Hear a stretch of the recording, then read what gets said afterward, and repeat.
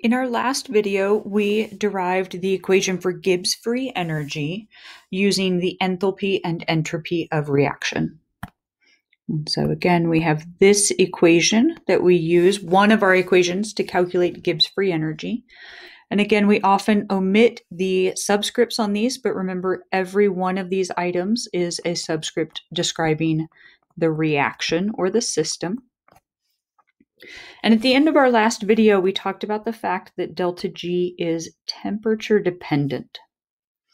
And so in the first part of this video, we'll describe how we determine temperature dependency. The other thing to note in here is that we are specifically describing non-standard delta G. Again, recognize we don't have the naught symbol attached to it. So, endothermic reactions. Remember where enthalpy is greater than zero or positive value. These reactions tend to be spontaneous at higher temperatures. Again, if you refer back to our previous video, we determined that higher temperatures will allow the product of temperature times entropy to be greater than the enthalpy value. And so this is always the case. The reaction will be temperature dependent when the signs of both enthalpy and entropy are positive. For exothermic reactions, where enthalpy is less than zero or negative, these reactions will be spontaneous at lower temperatures. Again, this is where we want our temperature to be lower so that our enthalpy value can be greater than our product of temperature times entropy. And so this happens when both of those quantities are negative. So when we were predicting signs of delta G, we determined that when the signs of enthalpy and entropy are the same, either both positive or both negative, those reactions are temperature dependent. Describing a temperature as high or low depends on the reaction itself. There's no one cutoff or one temperature that can be used for all reactions. Every reaction will have its own temperature at which it will become spontaneous. To determine how we would calculate that, the first thing to recognize is that we're going to set our delta G equal to zero. In doing so, this lets us determine two things. One, it allows us to calculate the reaction or the temperature at which a reaction will change between spontaneous and non spontaneous. Remember that for delta G, a spontaneous reaction happens when delta G is less than zero. A non spontaneous reaction happens when delta G is greater than zero. And so setting delta G equal to zero allows us to find that turning point between spontaneous and non spontaneous. The second thing we can calculate when we set delta G equal to zero is the temperature at phase changes. A quick reminder of phase changes for you. So when we look at temperature versus pressure changes, if we were to look at something like, say, water with its very memorable phase diagram, Remember that as we increase temperature, we move from the solid phase to the liquid phase to the gas phase. And so equilibrium is described by the point where we are exactly in between two phases. So equilibrium would be when I'm on the line somewhere in this phase diagram.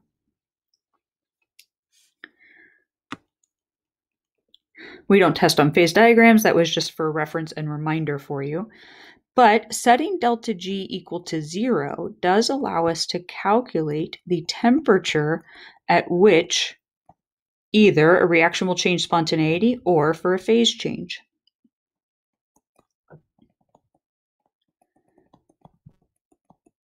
So here I've just set delta G equal to zero.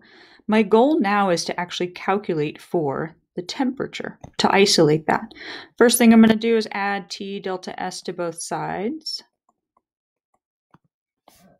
And so now I have a reaction of temperature times delta S equal to delta H. Again, I want to get T by itself, so divide both sides by delta S. So for a non-standard system or non-standard conditions, I can calculate the temperature at which a reaction will change from spontaneous to non, or the temperature of a phase change by using this equation. You will notice this equation is not on your equation sheet, so you either need to remember how to derive it or to memorize it. Now let's take a quick look at how we use a couple of equations. So we're going to do a couple of practice calculations here. The first one is to calculate delta G for a given scenario. So again, delta G is going to use both enthalpy and entropy to determine spontaneity. In this scenario, we want to calculate delta H, or we want to calculate delta G given delta H, delta S, and T. So we're simply just plugging into our Gibbs free energy equation. And the question here is asking is this spontaneous? And are we calculating standard or non standard? Notice that none of our quantities have that standard naught symbol on them. And so that means that we are calculating non standard. Setting up our Gibbs free energy equation, we have delta H minus T delta S. You'll notice again units. Enthalpy is in kilojoules, entropy is in joules, and so we need to convert one. Again, I always prefer converting my entropy into kilojoules per Kelvin. Again, that's because delta G is reported in kilojoules. So it saves a conversion step later. Setting our quantities in, we have our value of enthalpy of negative 85.5. Now we pay attention to our order of operations. So if my temperature is 298 Kelvin, I'm multiplying that by my entropy first, after converting that into kilojoules per Kelvin. Then I will subtract this product from my enthalpy to calculate the delta G. When you plug these numbers in, you should get a value of negative 96.1. Notice our units here, kelvins cancel, and so that leaves the subtraction of two units of kilojoules. They have to match, by the way, for subtraction. Because we have a negative quantity for delta G, this determines that we have a spontaneous reaction.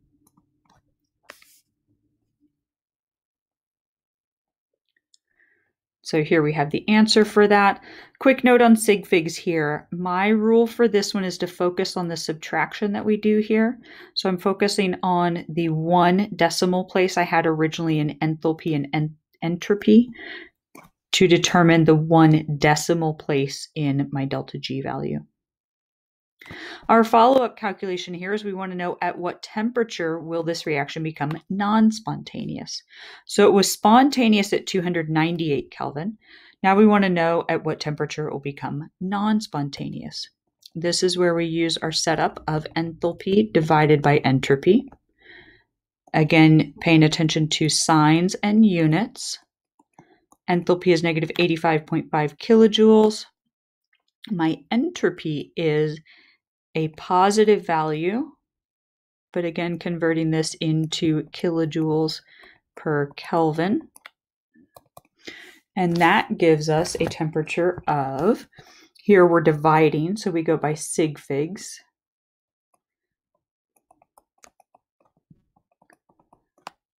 When we plug this in, we get negative 2.40 times 10 to the third Kelvin. Hopefully the fact that we got a negative Kelvin jumps out at you a little bit. So this is the temperature at which the reaction will become non-spontaneous. This is our temperature of the turning point. We want to know if it's going to be spontaneous above or below this temperature. There are two ways to determine this. One is we already calculated it 298, which is higher than this, right? Positive value. So we already know that it's spontaneous above this temperature. However, a negative Kelvin can't exist, and so it would have to be spontaneous above this temperature.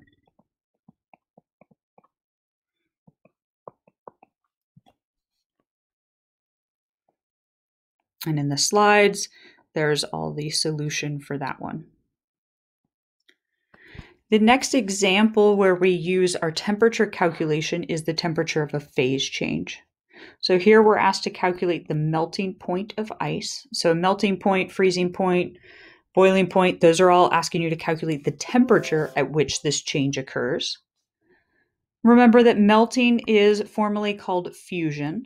And so for this setup, we're literally just setting up our enthalpy over our entropy. Fusion for melting.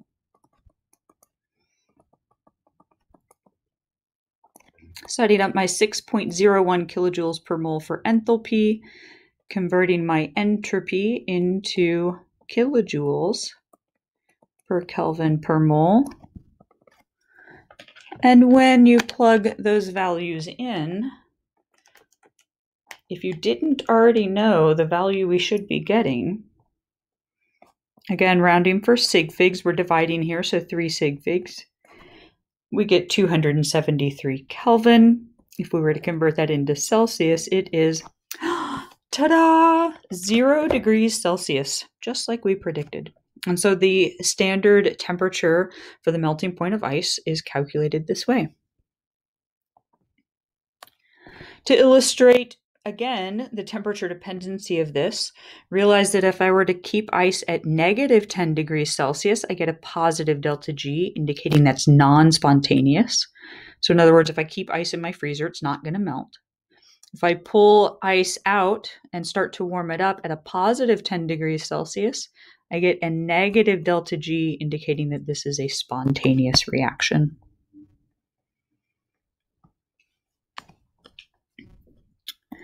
I encourage you to work on this practice problem.